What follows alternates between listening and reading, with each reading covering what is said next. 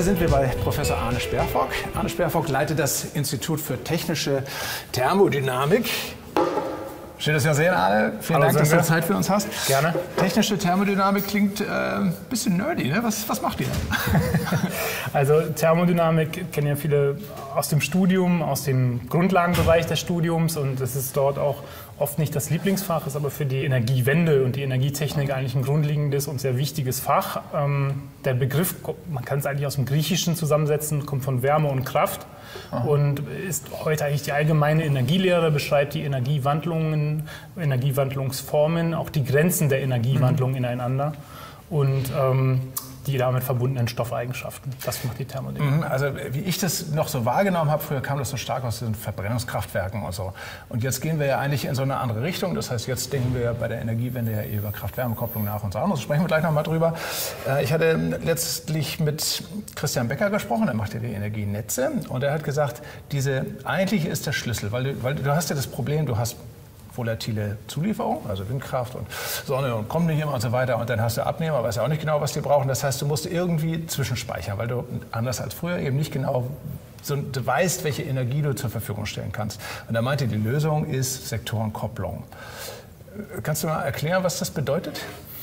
Sektorenkopplung meint, dass man das Strom, das Gas und das Wärmenetz als Beispiel nicht mehr losgelöst voneinander betrachtet, sondern miteinander koppelt. Das bedeutet, dass man zum Beispiel zu Zeiten, in denen man Überschussstrom hat, zum Beispiel aus mhm. Wind und Sonne, diese Energie wandelt, zum Beispiel in Wärme oder aber auch in Wasserstoff, den man dann ins Erdgasnetz einspeisen könnte, die Wärme letztlich im Wärmenetz speichern könnte, ähm, um damit dann integriert Energie zu speichern. Und dann auch wieder zurück? Und gegebenenfalls diese dann auch wieder zurück in Strom zu wandeln. Mhm. Ähm, jetzt so mit meinem Schulphysikwissen würde ich sagen, Probleme hast du ja immer bei diesen Übergängen eigentlich mit Wirkungsgraden. Ne? Das ist eigentlich ja immer, das, sonst wäre es ja ganz einfach. Ne? Dann schiebst du einfach irgendwo hin, machst Wasserstoff raus, machst wieder. Aber du verlierst ja immer Korrekt. ordentliche Energie, mal Korrekt. die Hälfte und so. Wie, ist, ist das ein Thema für euch? Also wie kriegst du diese Wirkungsgrade besser in den Griff? Genau das ist das, ähm, wo, oder was wir mit der Thermodynamik beschreiben. Wir müssen die Energie letztlich wandeln. Man kann elektrische Energie per se nicht speichern. Wir müssen die Energie dafür wandeln, zum Beispiel in innere Energie. Mhm. Und bei diesen Wandlungsprozessen treten immer ähm, Verluste, wenn man so möchte, auf. Es gibt Grenzen dieser Energiewandlung und genau diese Grenzen beschreiben wir eben in der technischen Thermodynamik. Mhm. Ja, genau. Hat was äh, mit, mit äh, Entropie zu tun, glaube ich. Sprechen wir jetzt drüber. Aber man braucht leider die Wärmeverluste, um die Entropie wieder loszuwerden. Ne? Irgendwie so, so war das. Ne? Genau. Bei, bei, einem Kraftwerk als Beispiel, vielleicht ist das am intuitivsten, ähm, muss man ja einen Wärmestrom abführen aus dem System. Das heißt, ein Kohlekraftwerk, das jetzt hier in Hamburg steht, kühlt dann äh, oder gibt Energie die, an die Elbe ab und als Laie oder ich als Kind habe mich immer gefragt, warum macht man das genau. eigentlich nicht? Man oh. verbrennt erstmal Kohle, um dann die Elbe aufzuheizen. Und da ist genau die Entropie eben der Grund, warum man einen Wärmestrom abführen muss aus einem solchen Prozess Aha. und nicht die volle Energie in Strom wandeln kann. Mhm. Genau, gehen wir nicht weiter darauf ein, weil glaube ich, Entropie ist das Lieblingsthema wahrscheinlich auch in deiner Vorlesung für deine Studierenden. Entropie ist äh, ein sehr wichtiges äh, Thema in der Thermodynamik. Ähm, ist ja fundamental im zweiten Hauptsatz. Dann ähm, ja, wichtig für diese Grenzen der Energiewandlung eben. Und ja, demnach ist es auch ein großes Thema natürlich bei uns ja, in der Vorlesung. Genau. Müssen wir auch nicht weiter verstehen, aber man muss natürlich verstehen, immer wenn du so in solchen Umwandlungsprozessen bist, hast du Verluste, die kriegst du auch nie auf Null runter. Äh, das ist ja schon mal gut zu wissen. Nehmen wir uns mal, also über Sektorenkopplung können wir gleich noch mal sprechen. Sprechen wir erst über Wasserstoff, weil das irgendwie so ein interessantes Thema ist. Das hatte ich mit Martin Kaltschmidt auch schon mhm. drüber gesprochen, mit Christian Becker. Äh, die Frage ist ja immer so, was man so liest, Grundnahrungsmittel oder Champagner der Energiewende. Und eigentlich sagen ja inzwischen alle, na, ohne Wasserstoff kriegst du eigentlich diese ganzen Kopplungsprozesse nicht richtig hin. Siehst du das auch so? Ich denke, dass Wasserstoff ähm, am Ende nicht der Champagner sein kann. Ähm, es ist sicherlich heute noch der Champagner, das ist schon meine Sicht. Aber am Ende, um äh, ja, in die Breite zu kommen, wird Wasserstoff, denke ich, eine breitere Rolle spielen müssen, als nur der Champagner zu sein. Mhm. Also wenn wir jetzt, vielleicht musst du noch mal erklären, wie es überhaupt funktioniert. Ja, also du hast Strom, dann hast du Elektrolyse, dann hast du Wasserstoff, Sauerstoff. Sauerstoff gibst du in die Atmosphäre, den Wasserstoff behältst du, um damit dann wieder irgendwas zu machen. Zum Beispiel in zu Gas oder zu, zu ähm, Flüssigkraftstoffen zu, zu verbinden? Oder wozu noch? Was, was kann man mit Wasserstoff anfangen? Es ist aus meiner Sicht zunächst mal am aussichtsreichsten, und das wird aus meiner Sicht auch der Bereich sein, wo Wasserstoff zunächst eingesetzt wird. In der Industrie wird es den heute schon vorhandenen Wasserstoffbedarf ähm, zunächst mal substituieren, um damit letztlich schon sehr schnell CO2 einzusparen. Dann ist äh, ein, An oder ein Anwendungsfeld sicherlich der Verkehr. Also alles, was man nicht mit Strom machen kann, wird, denke ich, mit Wasserstoff oder da, zumindest ist dort Wasserstoff eine gute Lösung ähm, gemacht werden. Und nichts, oder am Ende kann man es sicherlich auch äh, im Bereich der Wärmewende einsetzen mhm. zur Gebäudebeheizung, wobei ich das eher als letzten Anwendungsfall dann sehen würde. Weil es zu teuer ist? Weil man einfach über den Daumen gerechnet im Vergleich zu Wärmepumpen ähm, doch dann vom Wirkungsgrad her deutlich unterlegen ist. Natürlich hat man dann die Speicherbarkeit, deswegen würde mhm. man es tun wollen. Aber wenn man eine Wärmepumpe hat, dann kriegt man aus einer Kilowattstunde Strom ungefähr über das Jahr gesehen sicherlich dreieinhalb Kilowattstunden Wärme. Mhm. Wenn man nun Wasserstoff ähm, erzeugt aus einer Kilowattstunde Strom und wir gehen mal von einem Wirkungsgrad äh, auf dem Weg dorthin von ungefähr 70 Prozent aus und verbrennt es dann in einem Boiler, dann bekommt man aus einer Kilowattstunde Strom eben 0,7 Kilowattstunden mhm. Wärme und ist natürlich dann deutlich unterlegen im Verhältnis zur Wärmepumpe. Guter Übergang zur Wärmepumpe. Sprechen wir nochmal über die Wärmepumpe. Also das ist ja ein Thema, was vor ein paar Jahren so ein bisschen exotisch war. Aber wenn man jetzt durch Neubaugebiete fährt, sieht man die ja eigentlich überall. Sie sehen manchmal so aus wie so große Waschmaschinen, die vom Haus stehen und so. Da fragt man sich, was ist das? Wärmepumpen in der Regel. Ähm, kannst du kurz erklären, wie das, was machen Wärmepumpen und wie funktioniert das Prinzip? Wärmepumpen nehmen zunächst mal auf einem niedrigen Temperaturniveau, das ist im Winter meinetwegen bei uns minus 10 Grad, draußen Energie auf. Bei einem niedrigen Druck verdampft dann dort ein Kältemittel. Mhm. Dann verdichtet man dieses Kältemittel auf einen höheren Druck mhm. und damit kann man dann auf einem höheren Temperaturniveau diese Energie als Wärme wieder abgeben und zum Heizen des Hauses benutzen. Man braucht mhm. allerdings für diese Verdichtung elektrischen Strom. Mhm. Das bedeutet, ich kann eben, indem ich Strom einsetze, Außenenergie nutzen, um dann zu, gemeinsam praktisch mit dem, was ich an Strom hineingebe und an Energie außen aufnehme, das Gebäude zu beheizen. Mhm. Okay, also im Prinzip das umgekehrte, umgekehrte Prinzip vom Kühlschrank. Genau. Äh, aber wieso wird es mehr Energie? Also, ähm, weil man zusätzlich zu dem Strom, den man hineingibt, noch Energie nutzt, die man der Außenluft entzieht. Also die das heißt, das heißt man nimmt einen Teil Energie von der Außenluft, Aha. fügt Strom hinzu und hat dann insgesamt mehr Energie zur Gebäudebeheizung, als man als Strom investiert. Mhm. Ist ein bisschen überraschend, weil man ja erstmal denkt, ja, Energie, mehr Energie müsste ja, müsste ja draußen wärmer sein als drin. Also eigentlich leuchtet es einem immer ein, wenn man sagt, wir machen jetzt Geothermie, bohren ein tiefes Loch in die Erde, unten ist das Wasser wärmer als oben, die genau. Energie nutzt man, verdichtet man und so weiter. Das leuchtet einem sofort ein. Jetzt ist es draußen aber kälter als drin. Wie kann man, wieso ist das Energie, die man nutzen kann zur, zur Wärmegewinnung?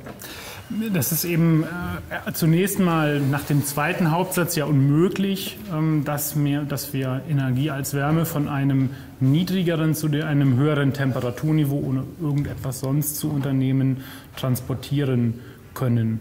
Das heißt, ähm, deswegen setzen wir diesen Prozess ein und können eben über diesen Phasenwechsel von dem Kältemittel, also ein Kältemittel bei einem niedrigen Druck hat also eine niedrigere Siedetemperatur, es verdampft dann praktisch draußen bei minus 10 Grad und dann verdichten wir es, sodass wir es bei sagen wir 50 Grad kondensieren können. Mhm.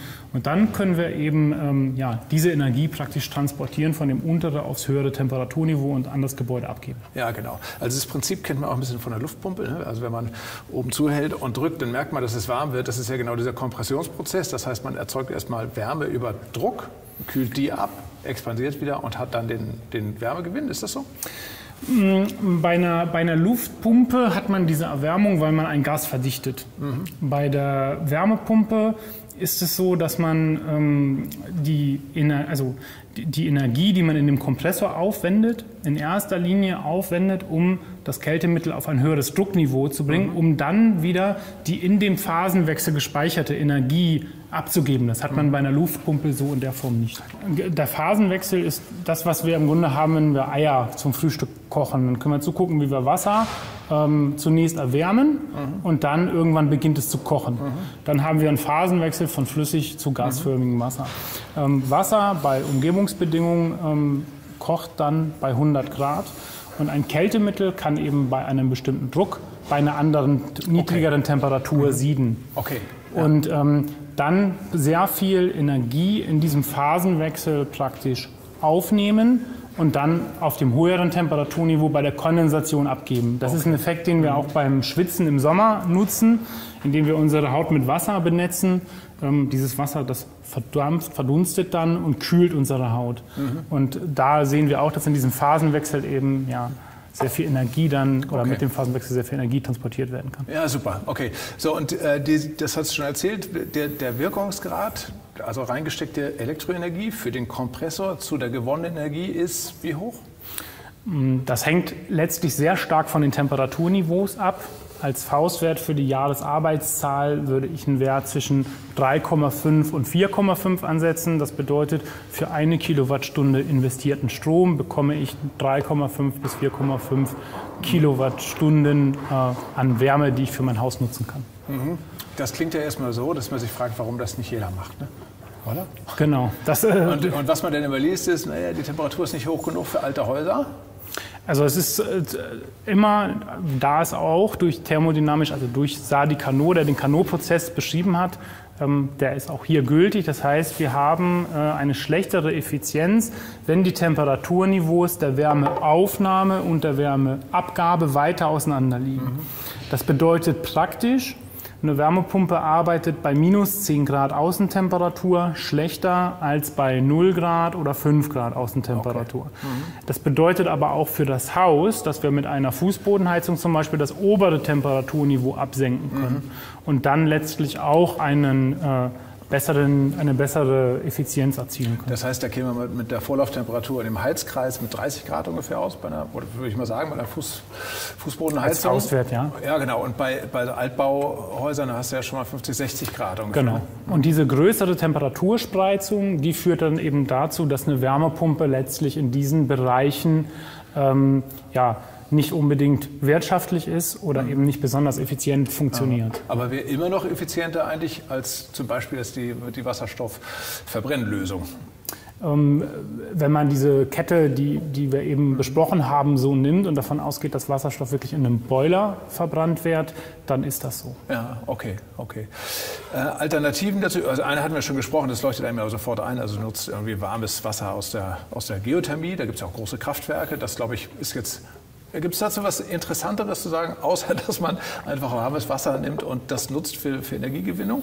Also was Wärmepumpen jetzt angeht, kann man prinzipiell erstmal sagen, dass eine, dass eine ähm, geothermisch oder mit oberflächennahe Geothermie betriebene Wärmepumpe insofern dann im Winter effizienter ist, weil man dort unten noch ein Temperaturniveau von 10 Grad hat. Weil nicht so weit runter Also man nicht so weit mhm. heruntergehen ja. muss. Und man muss ja immer dazu sagen, dass letztlich wann benötige ich die meiste Wärme zum Heizen meines Hauses? Dann, wenn es draußen am kältesten ist. Und in diesem Moment hat eine Luft-Wasser-Wärmepumpe systemimmanent die schlechteste Effizienz. Mhm. Und ähm, das führt dann letztlich dazu, dass eben in diesem Bereich dann ähm, ja, mit oberflächennahe geothermiebetriebene Wärmepumpen effizienter sind. Mhm. Allerdings muss man auch dazu sagen, jetzt, wenn der Sommerbetrieb immer wichtiger wird und die Warmwasserbereitstellung mhm. im Sommer, dann hebt sich dieser Effekt etwas auf, weil dann draußen okay. die Außenluft mhm. auch wieder wärmer ist als das Erdreich. Ja, okay. Das heißt, äh, wann Wann würdest du was empfehlen sozusagen? Also wann, wann würde man jetzt eher in so eine Luftwärmetauscher-Ecke gehen und wann wird man so bodennah und wann wird man in die Tiefe gehen? Gibt es da irgendwie so einen Daumenwert? Ähm, es gibt jetzt aus meiner Sicht keinen, keinen Daumenwert. Ich würde immer sagen, wenn man jetzt im Winter einen hohen Heizbedarf hat, dann sind eigentlich, ist eigentlich eine geothermische Wärmepumpe, also oberflächennahe Geothermie bis 100 Meter, ähm, energetisch effizienter. Ökonomisch muss man ja eine Bohrung bezahlen, ähm, sieht das in der Regel anders aus, weshalb in Europa und Deutschland ähm, im Wesentlichen Luftwasserwärmepumpen im Markt mhm. äh, dominieren.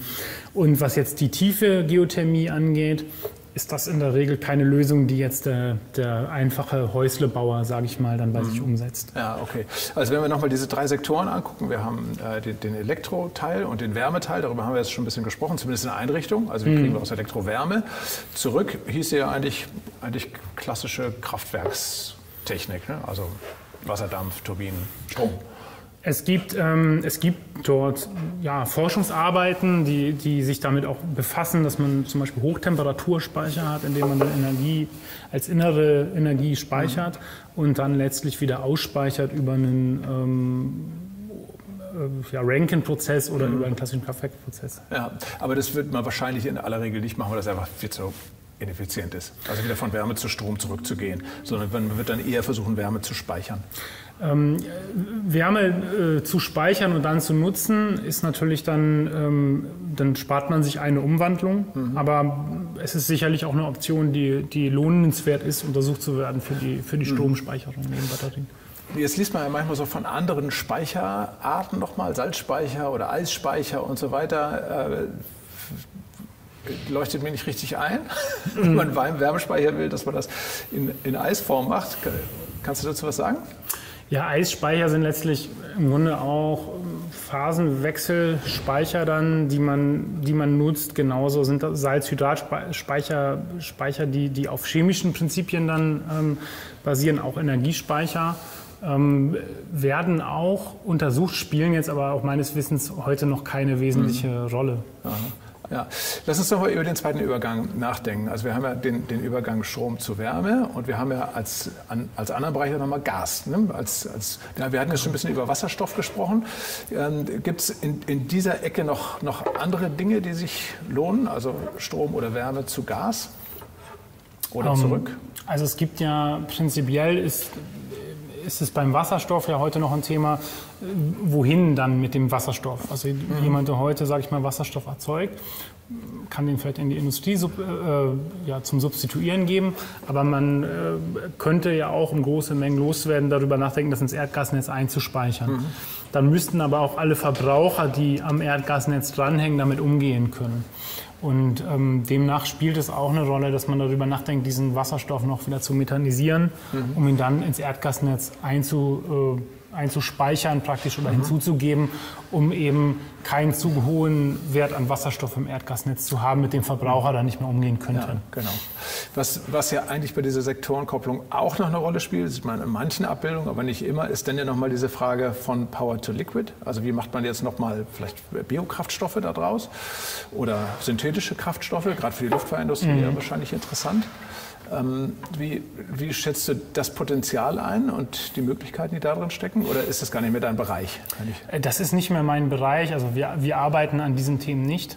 Ähm, ich denke, dass man letztlich natürlich auch in diesen Bereichen Lösungen benötigt, und, ähm, um da fossilfrei zu werden. Mhm. Und demnach sind natürlich auch so erzeugte Kraftstoffe dann oder können aus meiner Sicht sicherlich sinnvoll sein, aber das ist eben auch nicht unser Bereich, also mhm. wir forschen. Ah, okay. Ein Bereich, der jetzt, über den wir noch gar nicht gesprochen haben, der jetzt aber auch wichtig ist, ist ja diese, die Fernwärme, also die, die, eigentlich die gleichzeitige Erzeugung von Strom und Wärme und dann Fernwärmenetz, also Blockheizkraftwerke eigentlich. Äh, wie, was ist das Prinzip von Block, Blockheizkraftwerken? Blockheizkraftwerken? Blockheizkraftwerke ähm, erzeugen, ein herkömmliches Kraftwerk zunächst mal erzeugt im Grunde ja aus einem Brennstoff Elektrizität, also Strom, wenn wir so wollen. Und ich hatte ja eingangs schon erwähnt, dass ich mich auch als Junge immer gefragt habe, und die Frage kann man sich ja auch stellen, wenn man jetzt auf ein Kraftwerk guckt, warum erwärmt das eigentlich jetzt die Elbe oder ein nahestehender Fluss oder warum hat es einen Kühlturm? Und Blockheizkraftwerke nutzen nun ähm, einen Teil des anfallenden Abwärmestroms ähm, und geben dem auf einem verwertbaren Temperaturniveau ab. Mhm. Und ähm, dadurch kann man dann diese Energie, die man sonst, ein Teil der Energie, die man sonst eben an die Elbe zum Beispiel abgeben müsste, ähm, den kann man dann eben noch thermisch nutzen zur Gebäudeheizung. Das heißt, mhm. Blockheizkraftwerke stellen nicht nur Elektrizitätsbereit, Elektrizität bereit aus dem Brennstoff, sondern mhm. eben auch Energie als Wärme. Okay, das heißt, also letztlich ist der Trick dabei, den Wirkungsgrad zu erhöhen. Ne? Also weil, weil wir jetzt die, genau. eigentlich die, die, die, Abwärmeverluste wieder nutzen. Ich muss immer als äh, Thermodynamiker dazu sagen, dass man diese beiden Wirkungsgrade nicht ganz vergleichen kann, weil man Strom ist praktisch reine Exergie, also sehr hochwertige Energie. Mhm. Während man die Energie, die man als Wärme ausspeichert, bei einem Temperaturniveau von 80 Grad, hat nicht so besonders viel Exergie. Also mhm. ist eine nicht so hochwertige Energieform, ohne zu sehr ins Detail zu gehen. Aha. Deswegen sind aus meiner Sicht Vergleiche immer etwas irreführend, wenn man sagt, ein herkömmliches Kraftwerk hat einen Werksgrad von 45 Prozent und ein BHKW von 80. Ähm, das kann man nicht ganz direkt vergleichen. ja, weil es nicht dieselbe Energieform ist am Ende. Genau. Ja, ja, okay, okay. Äh, du hattest gesagt, dass du als Kind dich immer gefragt hast, was die Kühltürme da sollen und warum man nicht das alles nutzt und so. Hat dich das dazu geführt, in diese Richtung zu gehen, Energietechnik, Thermodynamik oder wie bist du dazu gekommen? Ich bin ja praktisch äh, im Bereich der Elbmündung geboren und dort äh, sind die Kernkraftwerke Brockdorf und Brunsbüttel in der Nähe. Ja. Und ähm, demnach äh, kamen dann auch Windräder dazu, also Energietechnik ja. hat immer irgendwie eine Rolle gespielt. Und ähm, das hat mich dann auch im Studium immer mehr fasziniert. Und ja, auch diese Erfahrung als Kind eben vor den Kühlwasserausläufen haben auch dazu beigetragen, das eben aufzuklären. Das hatte ich allerdings im Grundstudium dann schon gelernt in der Thermodynamik und habe mich dann aber entschieden, äh, das auch zu vertiefen. Ja, okay. Wenn du jetzt jungen Leuten einen Tipp geben könntest, also wir stehen ja vor so immensen immensen Herausforderungen, gerade was jetzt Klimawandel angeht, was Energiewende angeht, was viele andere Nachhaltigkeitsthemen angeht, sind ja Riesenaufgaben. Und irgendwie muss man ja wieder in so eine konstruktive Haltung reinkommen. Also muss man das Gefühl haben, man kann es lösen. Äh, was, was würdest du jungen Menschen raten? Aus meiner Sicht ähm, würde ich mir wünschen, dass es viele junge Menschen gibt, die äh, hierher kommen und zunächst den zweiten Hauptsatz der Thermodynamik verstehen und dann äh, dieses Wissen nutzen, um damit wirklich beizutragen, dass wir Prozesse, Systeme entwickeln, um da ja, wirklich voranzukommen und umsetzen. Ja, okay. Ja, das ist ein bisschen das, was wir hier mit auch verfolgen. Also das, äh, wir, versuchen ja Technologien für nachhaltige Entwicklung. Also schon zumindest ist, ist ja eine bestimmte Sicht auf nachhaltige Entwicklung, aber wir versuchen ja eben als technische Universität technische Lösungen anzubieten, wie es, wie es rausgeht, wie wir es lösen können und so weiter. Und äh, glaube ich, wichtig ist, jungen Leuten auch den Mut zu geben, zu sagen, ja klar, wir haben große Herausforderungen, aber wir können die Sachen auch anpacken. Und der Mensch ist so voller Kreativität und Erfindergeist. Uns wird schon was einfallen, hoffen wir mal, aber wir müssen auch wirklich dran arbeiten. Genau, ich, ich denke, wir haben ja keine Wahl. Also wir, wir müssen, äh, ich glaube, wir müssen machen. Ich glaube, es ist auch möglich zu machen und wir haben auch heute schon viele Technologien, die wir einsetzen können. Und wir werden auch in, in der Zukunft weitere entwickeln bzw. an der Effizienz dieser Technologien arbeiten. Ähm, und da brauchen wir, glaube ich, vor allem, ich hatte jetzt ja gesagt, den zweiten Hauptsatz äh, zunächst mal verstehen, aber wir brauchen natürlich vor allem auch den Willen, sich dort zu engagieren und dort mitzumachen. Ja, genau. Ist aber eine super Möglichkeit. Arne, vielen Dank für das Gespräch. Äh, du hast jetzt nicht nur den Kaffee geschenkt bekommen, sondern auch die Tasse. Danke. Das ist erstmal nachhaltig, den nehme ich dann Ja, genau, genau so ist es. Also, mach's gut, vielen Dank. Bis vielen dann. Dank fürs Gespräch.